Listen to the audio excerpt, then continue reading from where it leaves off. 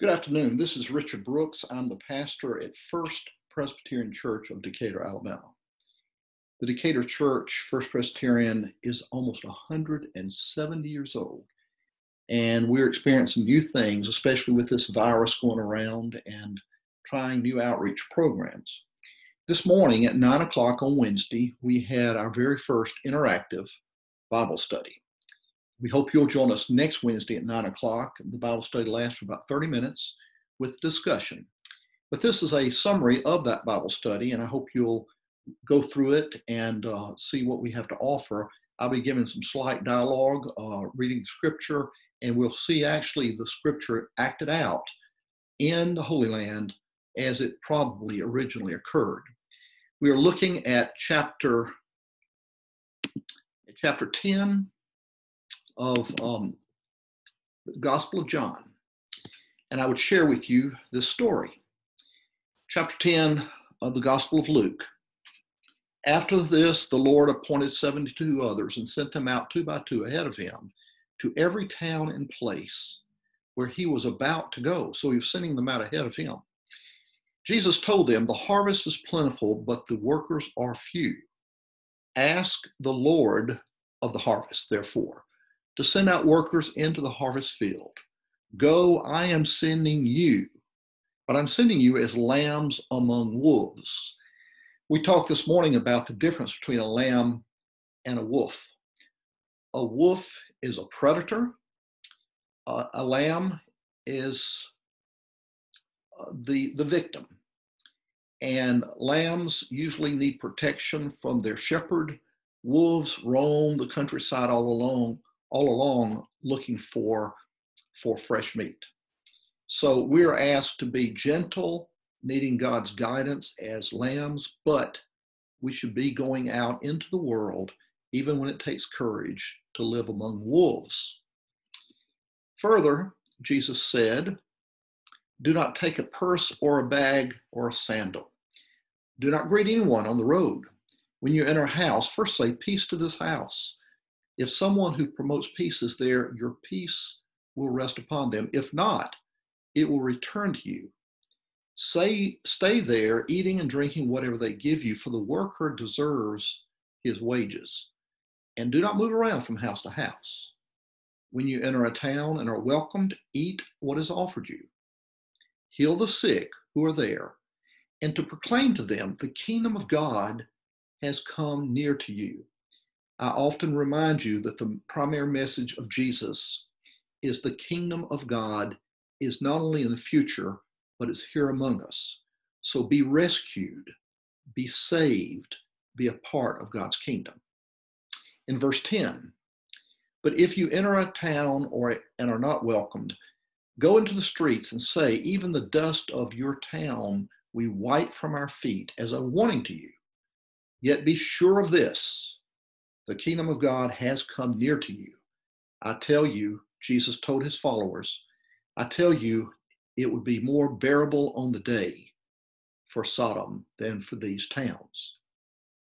It's interesting to reflect on the specific instructions that Jesus gives them not to take too much, take just enough, but not too much, to offer peace, to proclaim the kingdom of God, but also when people reject you, to say, we brought the kingdom here, you have rejected it.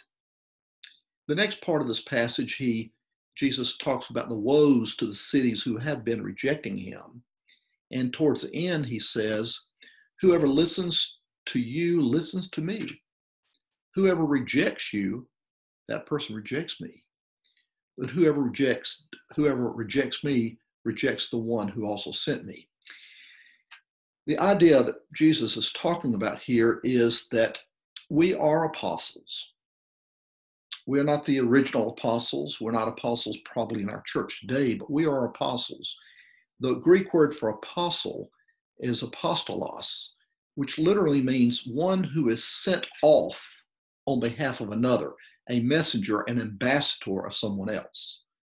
St. Paul said, We are now ambassadors of God's love in Christ. And Jesus is basically telling these 72, you are our ambassadors, go out and do things that I've asked you to do. And Jesus also says, while you're doing this, the I've seen lightning and Satan fall from the heavens in what you're doing. And Jesus says, I've given you authority over all these many things. And you must rejoice, but also rejoice that your name is in heaven. Let us now look and see this particular enacting of the scripture from the Holy Land in its most vivid and poignant presentation.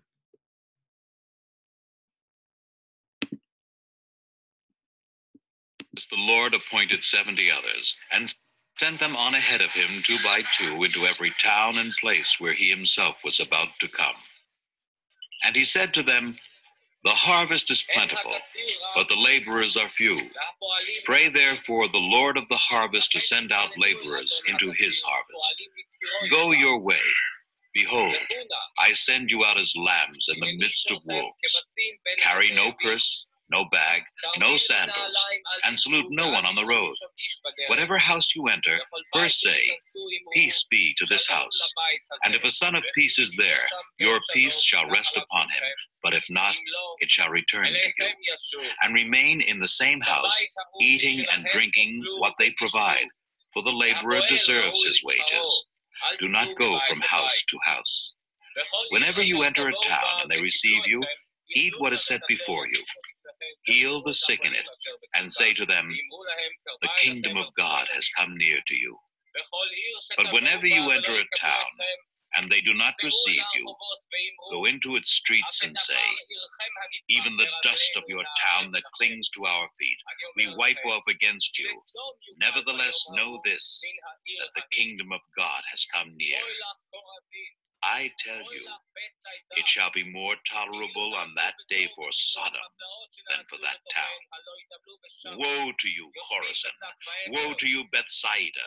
For if the mighty works done in you had been done in Tyre and Sidon, they would have repented long ago, sitting in sackcloth and ashes. But it shall be more tolerable in the judgment for Tyre and Sidon than for you. And you, Capernaum, will you be exalted to heaven? you shall be brought down to Hades. He who hears you hears me, and he who rejects you rejects me, and he who rejects me rejects him who sent me.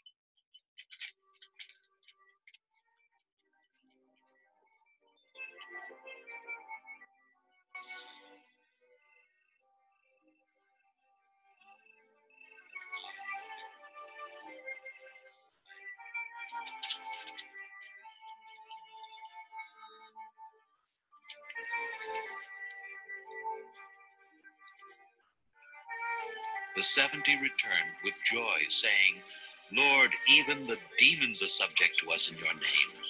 And he said to them, I saw Satan fall like lightning from heaven. Behold, I have given you authority to tread upon serpents and scorpions and over all the power of the enemy, and nothing shall hurt you. Nevertheless, do not rejoice in this, that the spirits are subject to you, but rejoice that your names are written in heaven.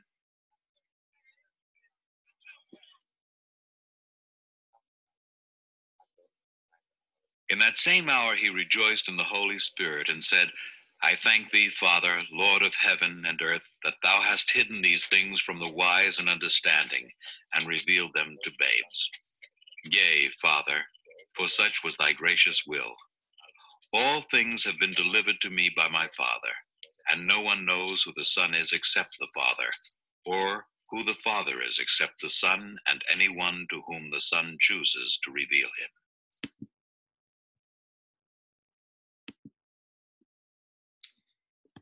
Quite an interesting presentation. These presentations were filmed in the 1970s on location using not actors but local citizens. They're speaking Aramaic or Jewish, uh, Hebrew, whatever is needed for that time period. They are on location in the most accurate, accurate presentation of this gospel story ever, ever produced. I hope it was meaningful to you. And I would close with asking you about our task as apostles, being sent out into the world as lambs among wolves, but yet with God's divine guidance and protection. In the name of the Father, the Son, and the Holy Spirit. God bless you all.